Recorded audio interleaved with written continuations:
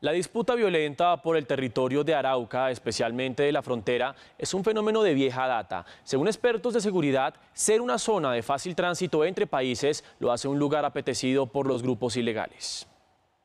El origen del recrudecimiento de la violencia en Arauca para algunos expertos se debe en primer lugar al nombramiento de un gobernador encargado que es exmilitar y también la presunta intervención de Venezuela en el conflicto entre disidencias y el ELN. Hay que tener en cuenta que hace poco fue dado de baja uno de los grandes cabecillas del ELN en la región del Apure, que es limítrofe con, con, con el Arauca y esto también puede ser el origen de la confrontación que estamos viendo hoy en día. A su vez, esta nueva ola de violencia en Arauca podría traer consigo el incremento de delitos como el secuestro en retenes ilegales y el desplazamiento forzado.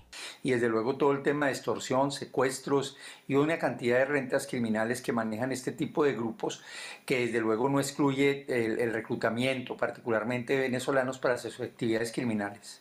La última vez que hubo alteraciones del orden público en Arauca fue en marzo de 2021, cuando cerca de 5.000 ciudadanos se desplazaron de sus viviendas por enfrentamientos entre el ejército bolivariano y las disidencias de las FARC.